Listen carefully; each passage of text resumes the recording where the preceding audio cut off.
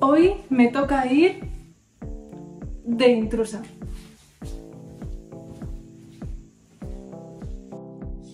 ¿Por qué? Porque hoy vamos a ir a las zonas más lujosas de Milán, el cuadrilátero de la moda donde están las mayores marcas y firmas de lujo y por otro lado está el City Life, que es una nueva zona que han reformado con unos rascacielos que están chulísimos. Y otra zona que se llama Portanova, con un edificio súper peculiar. ¿Me acompañáis? Vámonos.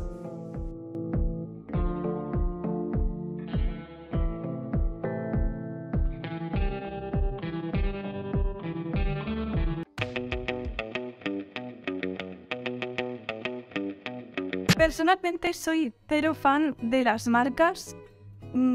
Prefiero invertir mi dinero en otras cosas que me aporten, como por ejemplo viajar. bueno, ya sabéis que siempre que voy a vivir a otro país, como lo hice en Suecia y te dejo por aquí toda la serie de vídeos, creo esta serie, ¿no? Que digo, diseñando en... La última vez fue en Suecia y ahora va a ser diseñando en Milán. Y me ha parecido buena idea que fuéramos juntos, tú y yo, a recorrer esas calles lujosas, esas firmas, y a echarle un vistazo a los diseños, a los escaparates y a ver qué tendencias podemos ver, qué aplicaciones, llámale arte, marketing o diseño, pero que creo que puede ser muy interesantes porque al final Milán es la cuna del diseño y no es casualidad que eh, estas marcas inviertan tanto dinero en estar justo aquí. Además, en el, City Life vamos a ver edificios diseñados por uno de los arquitectos más importantes, incluida por ejemplo Zaha Hadid. Así que este vídeo promete.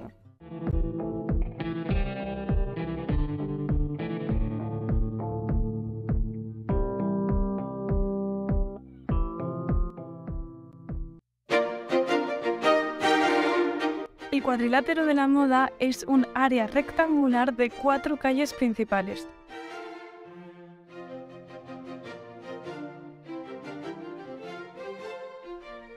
Via della Spiga, Corso Venezia, Via Alessandro Manzoni. Y la última, considerada como una de las calles más lujosas y caras del mundo. Via Monte Napoleone. Evidentemente yo no he venido aquí por las marcas, sino por la fantasía, y es que estas empresas invierten un montón de dinero en tener los mejores escaparates, los más atractivos. Y aquí un ejemplo, ¿cómo vender unas sábanas básicas? Pues poniendo todo un arte de fondo muy visual y que capta tu atención. Este es otro ejemplo que sí he visto mucho por Pinterest, pero ahora veo en persona donde utilizan hay recursos como la papiroflexia, las geometrías y casi que el fondo destaca más que el objeto. No sé si soy yo o estoy viendo una tienda Alessi. Alessi es una marca de diseño italiana reconocida mundialmente. Ahí vemos los exprimidores de Philip Stark. ¿Por qué? Por la combinación entre innovación, calidad y además colaboración con reconocidos diseñadores internacionales realmente eh, lo que hacen es producir objetos cotidianos de uso doméstico, pero que están completamente impregnados por diseño, por funcionalidad y por esta premisa de que la forma sigue a la función. Han recibido un montón de premios y algunas de sus piezas se han expuesto en museos de arte y diseño. Bueno, pero que estábamos con el tema del cuadrilátero de la moda, ¿no? Vamos ahora sí a la calle más cara.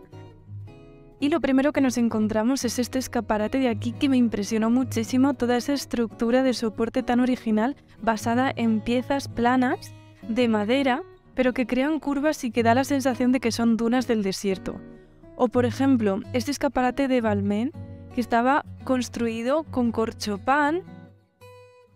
Y no sé qué tenía de especial esta mochila, pero me cautivó. Decidme vosotros en comentarios. Lo siguiente es una tienda para turistas. Eh, ah, Ah, no, que es un escaparate también. De nuevo el escaparate llama más la atención de la ropa, pero no les importa porque lo que quieren es que mires para que después de así te fijes en sus prendas. El cuadrilátero de la moda ha sido conocida como el templo de la moda desde los años 50 y desde entonces hasta ahora. ¿Y quién no se sentiría bella como una flor con este vestido? Pues por eso te la ponen hasta en los zapatos.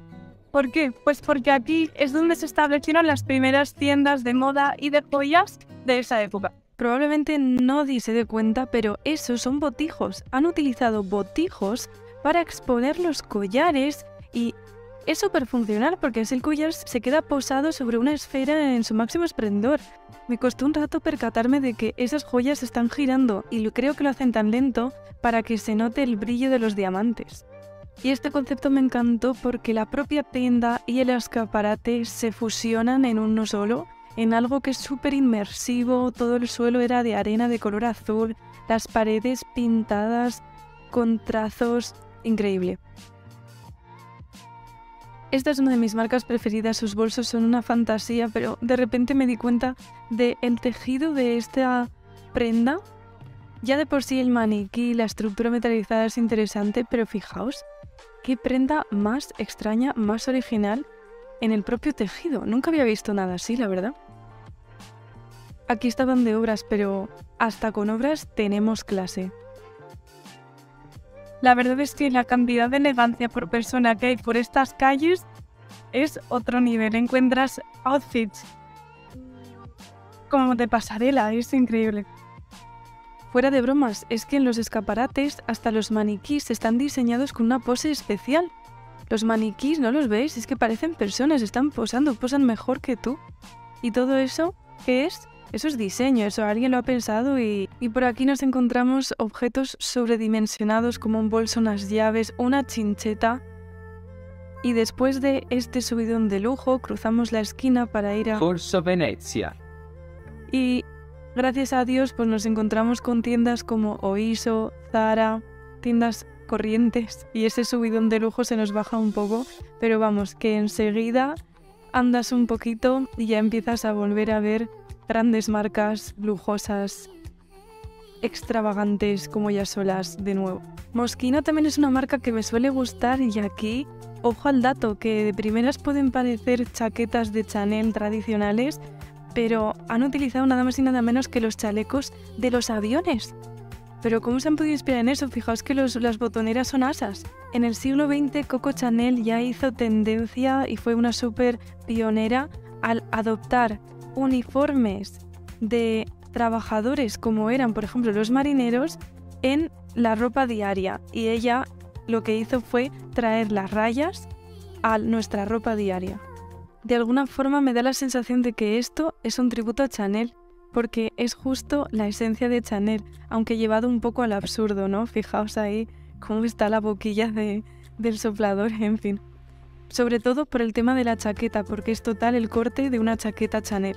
Y cuando todos creíais que me había enamorado, pues no, este ha sido mi favorito. Han cogido nada más y nada menos que un puño americano y lo han adoptado en el lujo. Y para los que se preguntan, ¿pero quién compra eso? Bueno, pues mirad qué colas se forman. Y con este escaparate de estrella de Hollywood nos despedimos, cogemos el tranvía y vamos a visitar el City Life.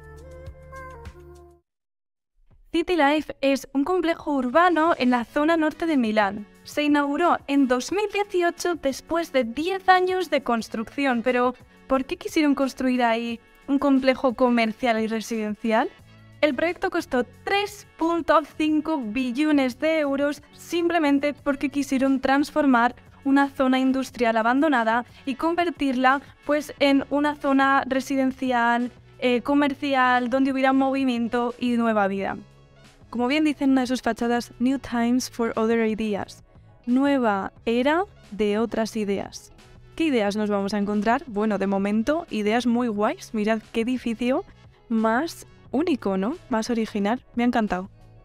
Pero, ¿por qué se gastaron tanta pasta? Bueno, Ahora lo vamos a ver. Básicamente la pasta se fue en la construcción de tres torres gigantescas, únicas, por arquitectos súper relevantes.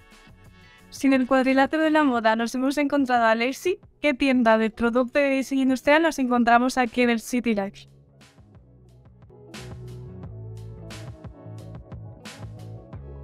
Pues Tyson.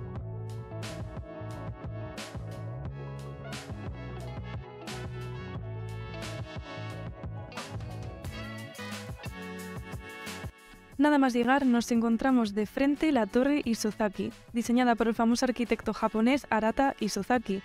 Esta torre es el edificio más alto de la City Life, con una altura de 202 metros y 50 pisos.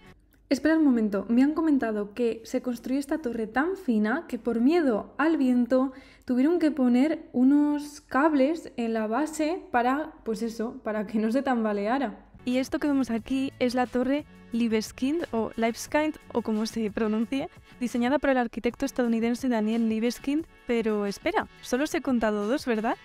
Me falta la tercera, ahora sí, la torre Hadid, diseñada por la fallecida arquitecta iraquí Zaha Hadid. Es otra torre de muy gran altura, 170 metros y 44 pisos. Presenta una fachada curva y fluida que se extiende hacia el cielo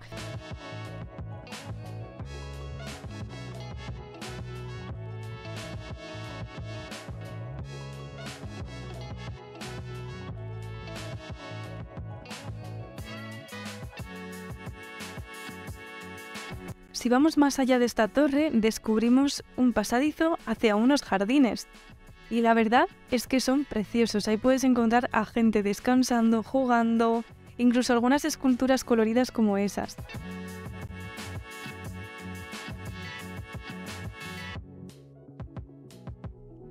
Y aunque todo esto, todo hay que decirlo, tiene un objetivo consumista ¿no? y de provocar que la gente acuda a estos centros comerciales, sí que es verdad que en estos jardines se encontraba un pequeño mercadillo de artesanía con cosas así de originales y bueno, no está de más, ¿no? Esa combinación y esa coexistencia de dos tipos de comercio.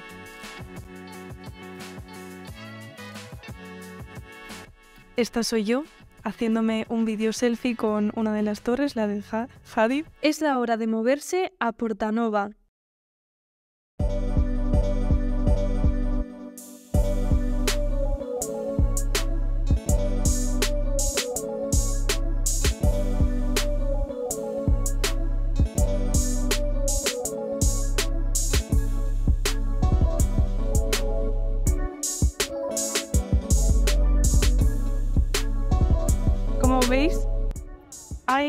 unos edificios gigantes aquí, es una zona súper calmada, es súper amplia con vegetación. ¿Es un render hecho realidad, sí o no? Esta torre me encanta, es la de UniCredit y es la más alta de Italia, con 231 metros de altura y es especial espiral de capas al final que además me recuerda como la espiral de un cuaderno. Ah, y es que para rematar son dos edificios curvos en una plaza redonda. Y tenemos un edificio súper icónico que es el Bosco Verticale, que ya os hablé de él en este vídeo. ¿Sabes lo que es el Bosco Verticale? Fijaos cuánta vegetación. ¿Qué comparación los rascacielos que hemos visto con este?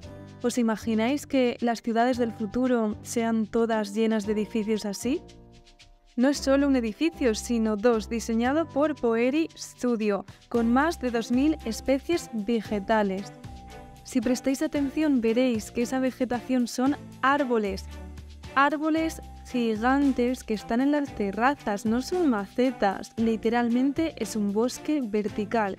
Se trata de un ambicioso proyecto de reforestación urbana que según sus diseñadores propone incrementar la biodiversidad vegetal y animal de Milán a través de la densificación vertical del verde, reduciendo la expansión urbana y contribuyendo también a la mitigación del microclima.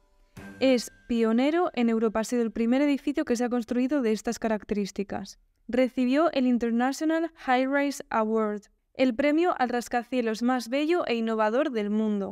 Y justo al lado podemos notar el contraste de estos altos edificios con unas casitas y esto de ahí es una fantástica publicidad en el fondo.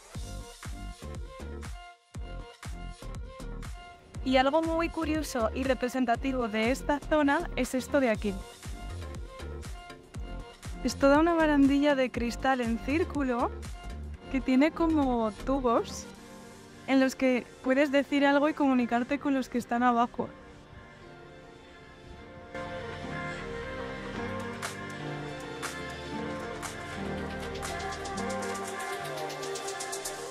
Si dejas atrás los tubos y vas un poco más para adelante, hay una tienda que tiene una superficie súper especial, que es esta de aquí. Por un momento parece como si fuera nácar, es brillante, son círculos, ¿verdad? Pero mirad si me pongo así. Mirad qué efecto, porque son pequeñas piezas que se mueven con el aire.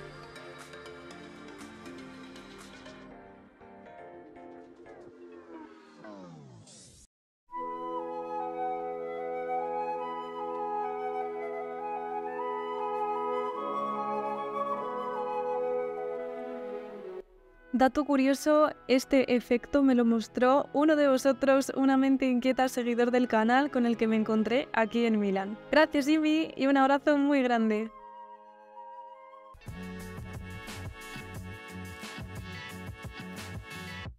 Y bueno, ya estoy en casa otra vez, espero que te haya gustado, como veis hacía muchísimo que no hacía vlogs y sigo sin mirar a la cámara, por favor. Si te has dado cuenta, dale like, si te ha gustado, dale like también. Si tienes sugerencias de qué más ver en Milán vinculado al diseño, escríbelo aquí. Tengo pensado enseñaros todos los rincones que encuentre en estos dos meses en Milán, llenos de diseño y traer todo ese diseño, toda esa vanguardia, todo ese lujo, todas esas referencias relevantes, importantes, traerlas aquí a Colas de Ideas porque es un contenido pues súper especial y que además me encanta, me encanta crear. Y nada más, como digo siempre, no dejéis de crear. Chao. Quieres conocer sobre nuevas tendencias, nuevas tecnologías, cómo el diseño se está transformando desde diferentes niveles, con esas macro tendencias, con las micro tendencias, con mogollón de ejemplos y casos de estudio, tienes ya para adquirir por un precio súper reducido una mega herramienta que hemos diseñado y que ha nacido 100% desde este proyecto, desde este canal con las de ideas.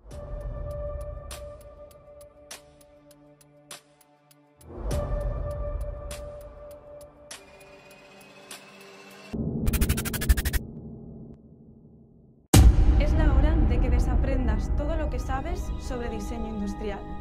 Sí, te digo a ti, viendo que el futuro necesita de diseñadores que realmente estén preparados para este futuro, he cogido pedacitos de todos estos futuros plausibles y posibles y los he camuflado en una guía de tendencias, que ahora es tuya.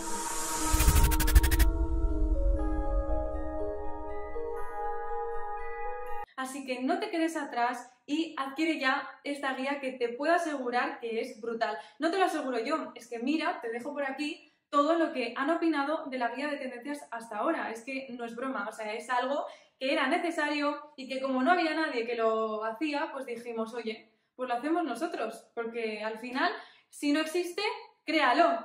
Esa es nuestra filosofía aquí en Colas de Ideas. Y ya para finalizar, que sepas también que tienes un curso completamente gratuito aquí en el canal sobre diseño con inteligencia artificial, el primer curso en español al respecto, que te dará las claves sobre cómo dominar estas nuevas eh, tecnologías y cómo implementarlas para agilizar tu proceso de diseño y para optimizar tu proceso creativo y tu creatividad. Además, también tenemos en la plataforma de colasdeideas.com no solo la guía de tendencias, sino un manual que te permitirá ir al siguiente nivel con el tema de diseño con inteligencia artificial.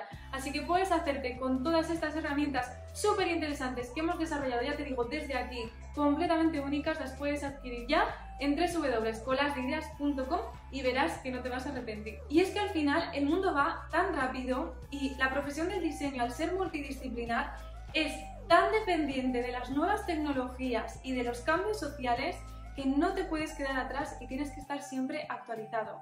Echa un vistazo a todo lo que te he contado hasta ahora y con esto terminamos. Mil gracias por verme. Como digo siempre, no dejes de crear.